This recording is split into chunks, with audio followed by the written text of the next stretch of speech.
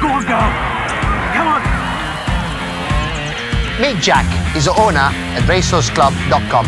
Jack and his wife are on holiday.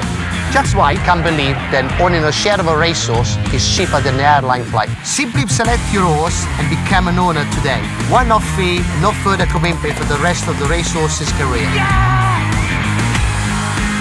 It looks like both Jack and his wife are winning on this holiday.